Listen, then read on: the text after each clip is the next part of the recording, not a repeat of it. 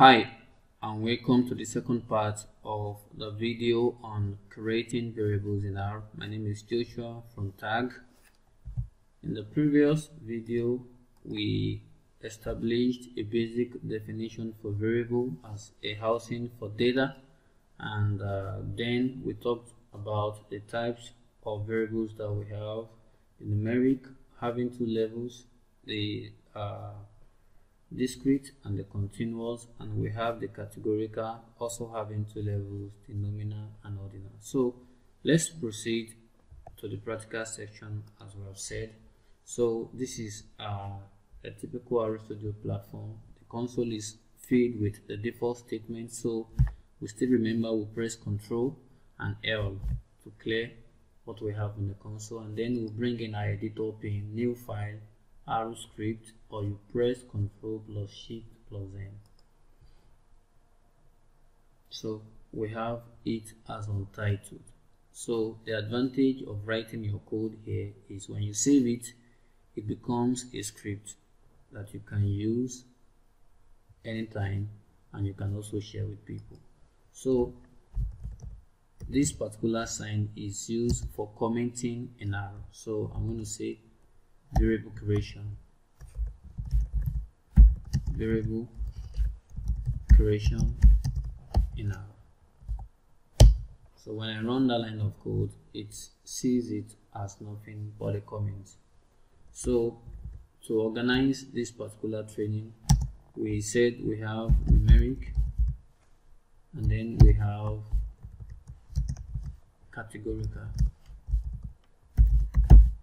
So under numeric let's give an example. Let's create an example. So one of the example i love to use is an example of a lecturer because i'm one. I teach people uh, on r programming and some other things that people would love to know. So let's take for instance that in my class i have uh, demographics of the age of people in my class because of uh, this uh, short video I'm going to use a simple example. So I'll start by saying age. So this is the variable name. And then we said we have three types of assignment operator the left word the right word and the equal to. So we would use the three of them in this uh, tutorial. So we have the less than so you can hold the shift and you press the less and then the hyphen button and then let's take for instance the first person's age is 12 so you run this line of code by pressing ctrl and enter ctrl enter. So we could see here on the global environment that age is now recognized on the global environment. So what it means is that if you print like we established that to print the result of a variable you use the print function. If you print you impute the age as the only argument. If you run this you are expecting to see 12 i hope that is clear. So one other thing again that i need to stress is imagine like i said we have five people. Imagine i want to impute the age of the remaining four students so I said this person is 14 years old 11 18 an elderly person and let's say someone is also old 25 if I run this look at what will happen. It tells me there is an unexpected error. So when creating variables when storing data more than one into a variable we in R one of the way to do this is to combine them together and to combine them we use the vector function. We combine them to a vector object.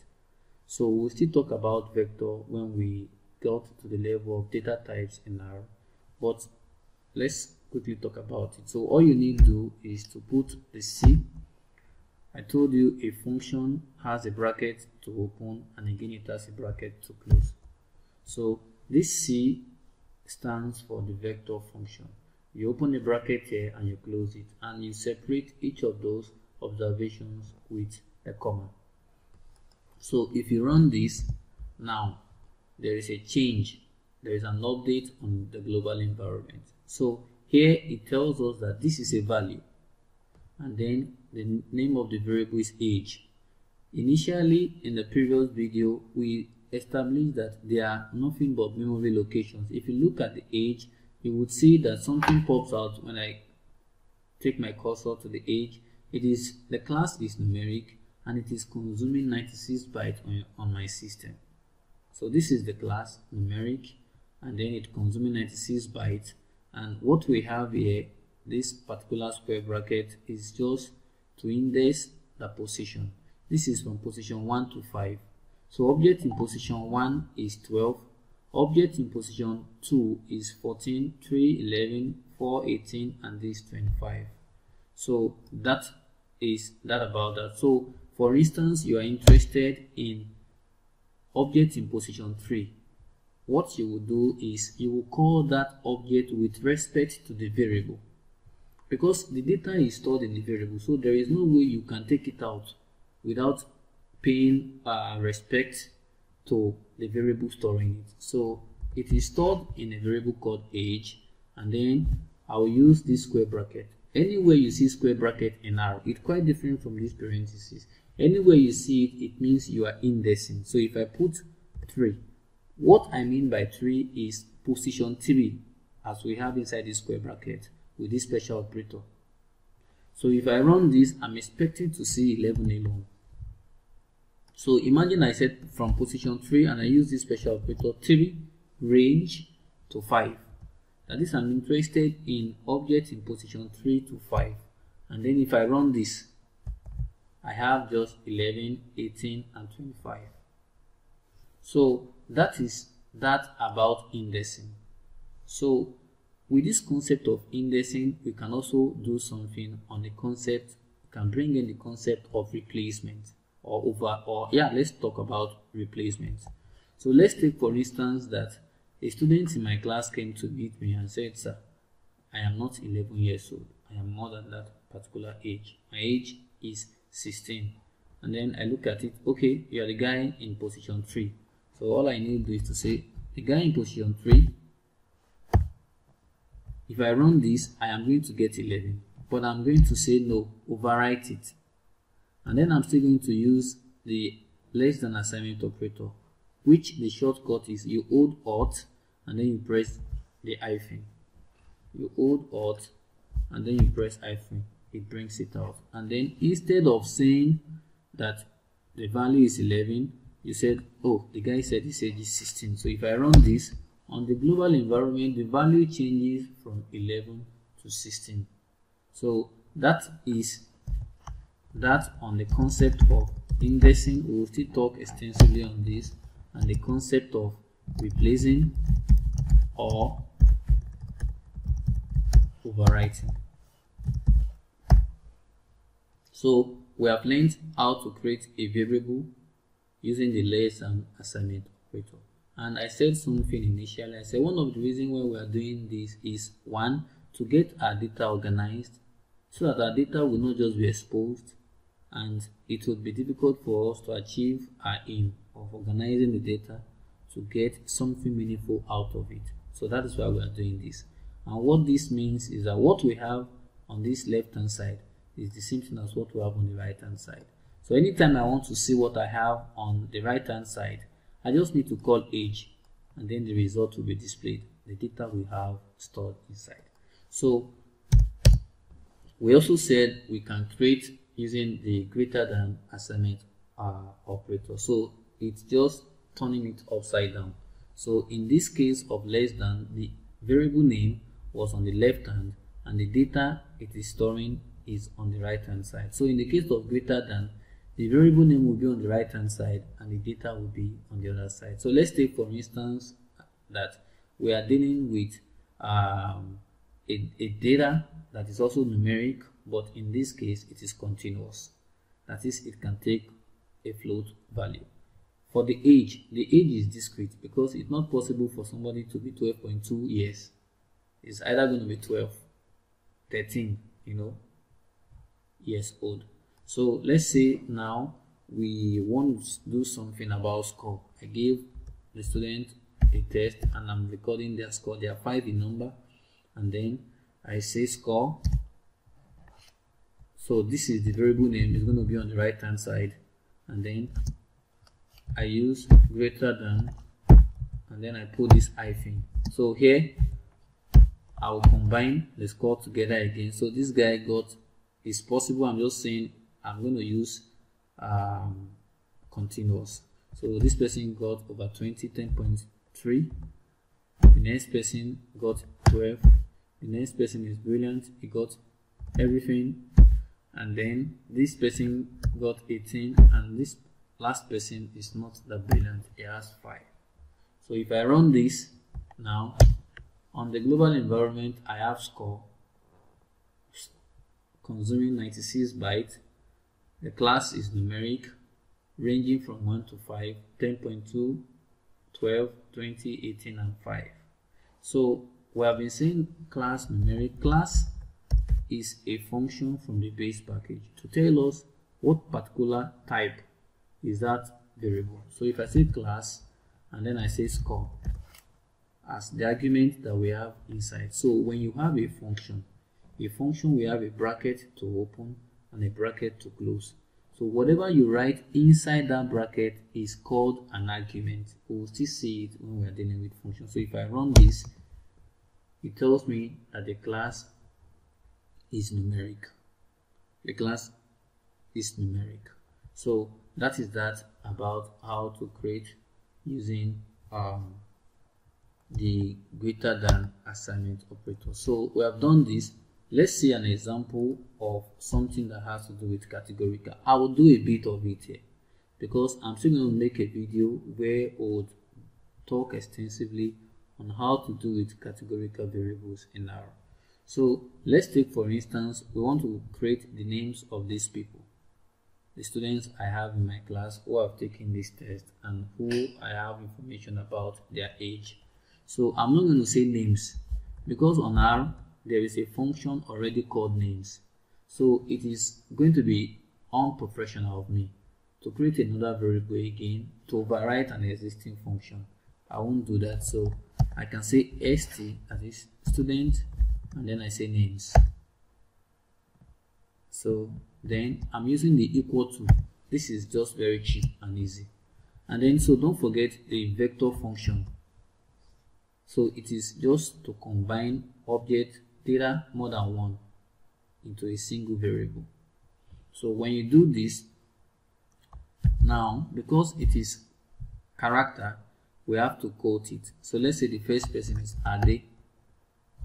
I'm just going to use names with three letter words. Next is Ola, like my name, Olakunle. And then the next is Olu. The next is um, Ife, love. And the next, which is the last one, is um, let me just use the name Femi. So if I run this now, if you check the global environment, we now have a variable called st underscore names. And the class of this variable is character. So you could see this is consuming 376 bytes. The class is character and then it has numbers from 1 to 5, Ade, Ola, Olu, and uh, Ife with Femi. So this is how we can create variables in R and then it becomes very easy to see the output. To just say print and then you say st underscore names. St underscore names and then you run it.